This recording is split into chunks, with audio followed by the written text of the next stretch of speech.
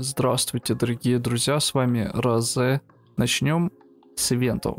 Первый ивент – сезонный пропуск. Обычный сезонный пропуск, где вы выполняете разные задачи типа модификации, разбора, использования аукциона. Задания вам дают за задания вот такие вот. Есть обычные и премиумные награды. Видим, что зелье развития, ордена славы, знаки поручения – и финальная награда 10 тысяч виталки.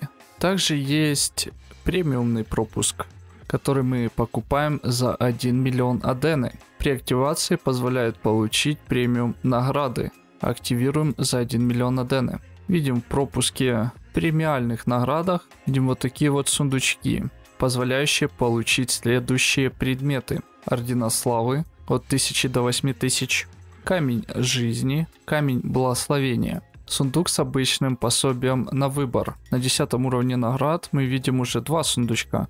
На 15 уровне уже три сундучка таких.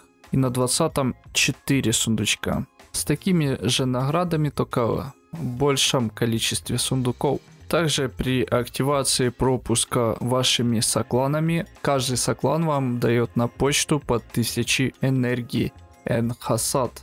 Также мы в пропуске можем видеть сундук с провизией наследника, в котором святая вода наследника, пир наследника, эликсир наследника. Так, дальше ивент. Короче, ребят, не, не знаю, с чем это связано, но у меня просто не хочет прогружаться страничка. Подарки из катакомб. Это письмо, которое будет присылаться в 12 часов. И в этом письме будет там стандартно 1000 энергии Энхасад, зелье пробуждения, заряды души, также добавили ивент захват катакомб подступников, в котором вам будут давать мешочек с орденами славы, еще чем-то там. Да, охуенный, блядь, ивент. Короче, не хочет обновляться, будут письмо в 12 часов присылаться и мешочек катакомбах отступников даваться с всякими наградами, там, Орден Славы.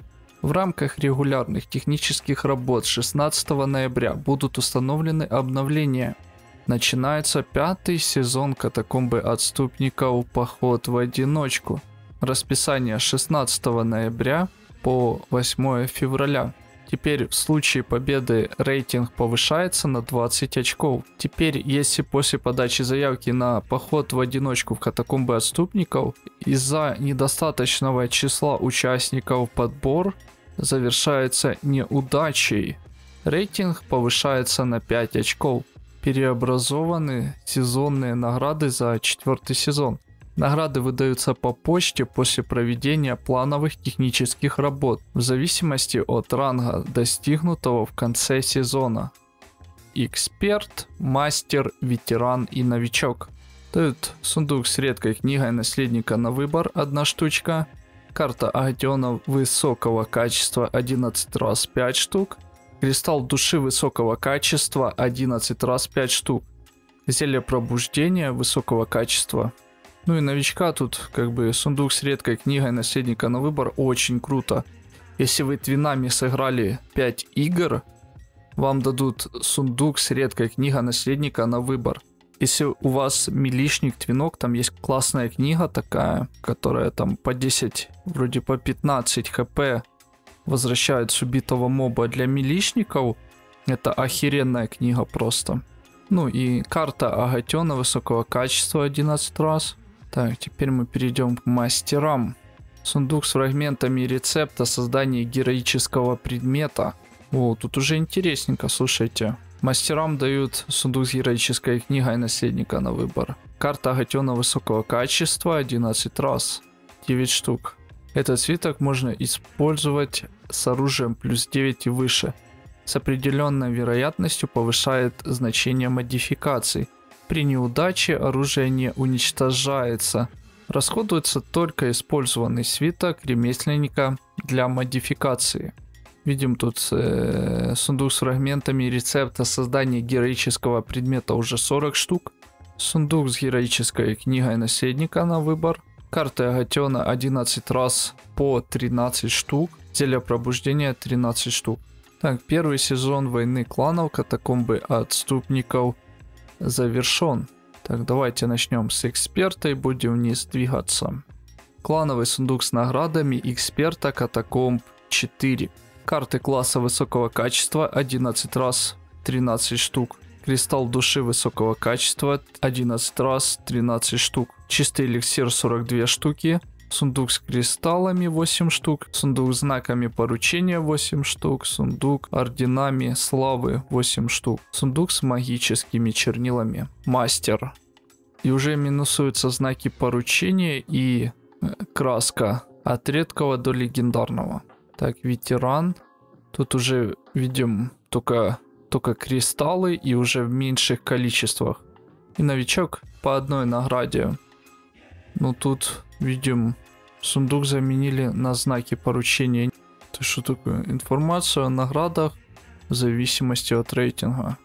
Получается, если ты занял первое место, тебе дали реликвия энергии 300 штук, Зелье пробуждения высокого качества 10 штук. Еще плюс карта класса высокого качества 11 раз. Очень интересно. А тут расписано вот сундук сотрудничества с кристаллами.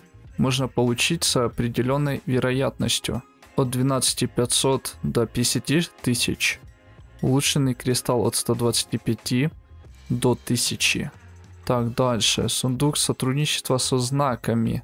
Видим стопроцентный шанс получения. Что я знаю вот этих переводчиков, которые переводят там Ctrl-C, Ctrl-V. Я тоже так умею. Сундук сотрудничества со знаками. Видим количество от 20 тысяч до 100 тысяч знаков поручения. Шанс получения 100%. Так, сундук сотрудничества с орденами.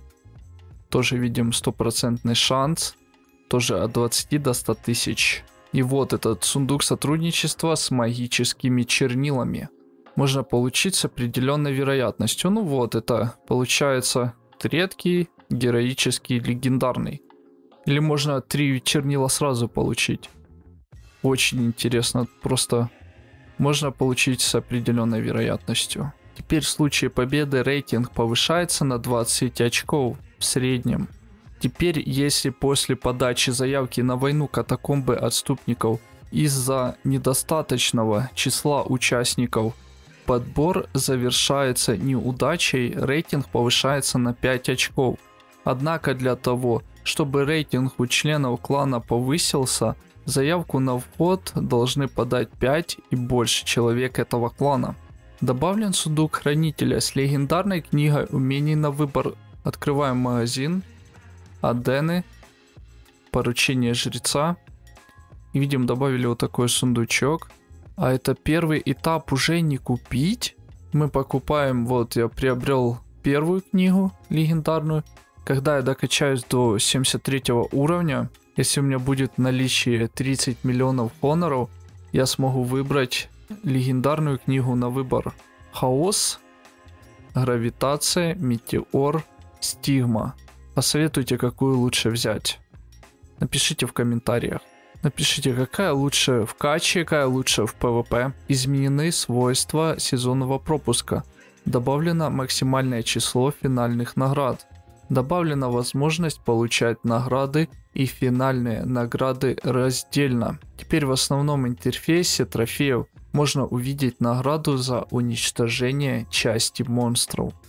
Исправлена ошибка, из-за которой в случае, если после смены сервера кланом сначала подключался хранитель и устанавливались дружеские отношения, отображалось случайное имя главы клана. Так, и на этом все. Это все обновления и ивенты на данный момент. С вами был Розе. Всем до новых встреч.